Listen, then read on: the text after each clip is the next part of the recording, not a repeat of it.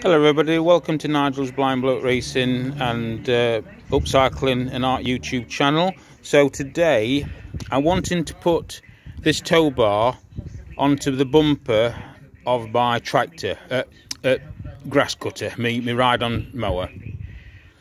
Because uh, I want to tow my bike trailer around the lawn to, to, to, put it away and I can't do it I can't carry the look the trailer myself. It's too heavy.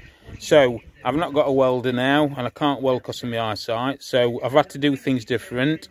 So I bought this plate here which is a, a two inch drop plate and I've drilled some holes here on my pillar drill which you've probably just seen on the earlier video I've bolted it through to the you probably see the bumper here look the bumper is is, fastened in a, in a bench. I've centre popped two pops here so I now need to um, I need to drill down there. And as you can see I've already broke one drill. In fact I broke two drills so um, yeah it's all go here. And uh, as I say that's down to my poor eyesight. But anyway so hopefully that's going to go on there and bolt on there and then that's good all that's going to bolt on the front of me ride on mower and I can use it to pull my trailer around. So fingers crossed